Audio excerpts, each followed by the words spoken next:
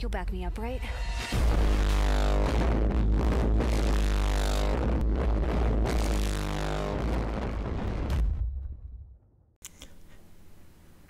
Yo, servus Leute, was geht ab? Mein erstes Call of Duty Ghosts Video. Jetzt hätte ich beinahe wieder Ghost gesagt, aber es ist ja Ghost, weiß ja mittlerweile schon jeder. Mit der AK-12, mit, äh, zu der komme ich auch gleich.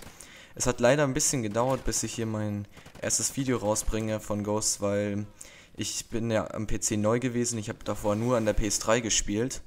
Und dann musste ich halt erstmal ein bisschen reinkommen, aber mittlerweile kann ich es ganz gut. Also und es macht mir ehrlich gesagt auch ziemlich Spaß. Also ich bin ja eigentlich eher so der Battlefield 4 Spieler äh, oder Battlefield 3 Spieler gewesen.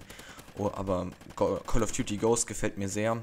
Viel besser als Black Ops 2. Da bin ich zwar auch Prestige Master gewesen. Es geht schon gut ab. Was bedeutet, dass ihr in der Zukunft einige Videos erwarten könntet. Also abonnieren, falls ihr diese mögt, wenn ihr es noch nicht getan habt. Aber insgesamt kann man sagen, dass Call of Duty Ghost ein sehr faires Spiel geworden ist. Es gibt keine Death Streaks, es gibt keine, also keine overpowerten Waffen, die einem jetzt extrem auffallen würden. Also zum Beispiel hier die AK-12, das ist schon eine sehr starke, extrem genau. Also dann komme ich auch gleich mal zum Klassensetup von der Waffe. So, jetzt bin ich hier im Klassensetup. Keine Angst, es geht gleich weiter mit dem Gameplay. Hier seht ihr die AK-12, die kriegt ihr glaube ich für 7 Punkte. Darauf habe ich einen Schalldämpfer montiert und einen Griff. Statt dem Griff könnt ihr auch noch äh, eine Magazinerweiterung nehmen. Aber die Magazinerweiterung, ich, ich es gern, also am PC kann jeder ziemlich gut, gut aimen. Auf weite Entfernung ist es sehr praktisch, wenn man sehr genau ist. Das ist nicht wie in der PS3, dass auf die Entfernung eigentlich sowieso niemand richtig trifft. Ja, ich habe keine Sekundärwaffe, keine Ausrüstung, ich brauche das alles nicht. Und es gibt mir mehr, mehr Extras, nämlich Flinkheit zum schnellen Nachladen, zum Sprinten und hier Stalker, damit könnt ihr schneller im Visierum, ähm, in der Visierung gehen. Dann natürlich noch für mich als Soundhure eine Totenstille und natürlich noch Konzentration, damit, wenn ihr angeschossen werdet, dass ihr dann noch zurückschießen könnt, ohne dass ihr hier die Waffe extrem nach oben zieht. Meine Abschlussserien sind hier der äh, beim Soldat, die, äh, die 9, das ist der Kampffeind, die 12, das ist der Helipilot und die 15, der Loki.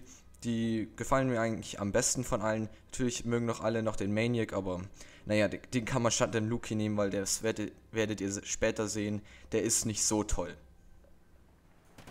Dann sage ich noch kurz was zur Map. Es empfiehlt sich hier immer in der Mitte zu bleiben und auf B zu schauen, wie man jetzt sieht, äh, und dabei auf A zu achten.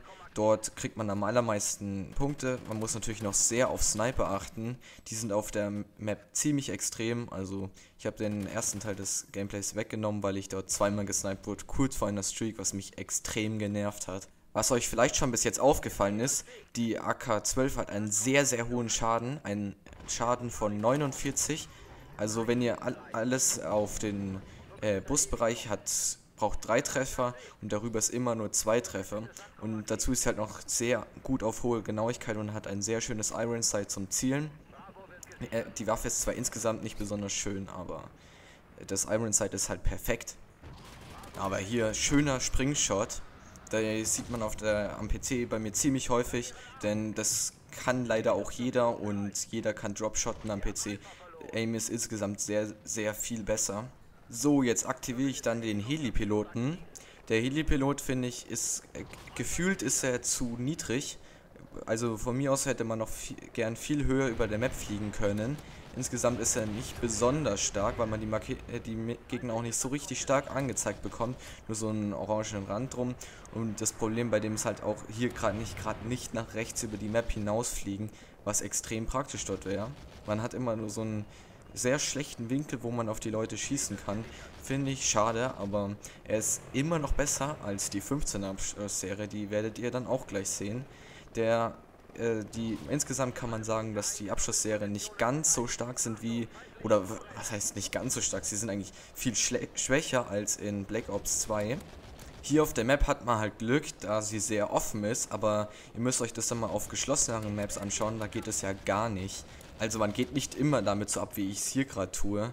Also ich hatte schon ganz andere Runden, wo ich nur zwei, äh, zwei Leute getötet habe mit dem Ding. Jetzt versuche ich hier gerade den äh, Luki, den Satelliten zu aktivieren, finde aber die Taste nicht, weil ich habe ja so ein extra Gamepad für für Ego-Shooter und da sind die, äh, da sind die Tasten immer, da sieht man halt nicht, was was ist. Hier ist das Sichtfeld von dem Luki sehr begrenzt, also man sieht nicht viel und kann nur sehr schlecht über die Map drüber fliegen. Ist auch nicht hoch und ich hätte, ich habe es am Anfang nicht so ganz verstanden, aber ihr seht dort äh, links und rechts sind so, äh, das zeigt einem an, was man drücken muss, um was zu bekommen. Da gibt es halt dann auf der 2 die Vorräte, das ist dann für Mitspieler. Finde ich, äh, ist mir noch nicht aufgefallen, ob man dafür Punkte bekommt. Also ich bin mir nicht sicher, ist es eigentlich nutzlos. Dann gibt es bei G oder mittlere Maustaste gibt es den Juggernaut, den werdet ihr auch gleich noch sehen. Der macht für einen selber Kills, der ist ganz gut, das ist noch wohl das Beste davon. Und kleiner Stab, ich habe keine Ahnung was es ist und mir ist auch nicht ein, äh, aufgefallen, als ich es eingesetzt habe. Also diese Streak ist nicht gerade empfehlenswert. Sie ist auch nicht so besonders lang, denn jetzt ist sie schon wieder zu Ende. Statt dieser Abschlussserie könnte man auch noch den Main Maniac empfehlen, der macht wahrscheinlich sogar mehr Kills, obwohl er nur Abschussserie 9 ist. Und wenn ihr halt gar nicht auf solche Abschussserien Lust habt, dann könnt ihr auch Spezialistenbonus nehmen. Da seht ihr das fette Ding, den Juggernaut, den ich da abgesetzt habe. Mit dem Spezialistenbonus könnt ihr dann auch ganz gut die Camp Strike erreichen, die 25er Gunstreak, die Moab aus Modern Warfare 3. Von denen werdet ihr auf meinem Kanal sicherlich einige sehen, also abonnieren lohnt sich. Ich würde mich natürlich auch über einen Verbesserungsvorschlag in den Kommentaren freuen, sowie über einen Daumen nach oben oder nach unten, wenn es, wenn es euch nicht gefallen hat. Ich danke euch fürs Zuschauen. Ciao.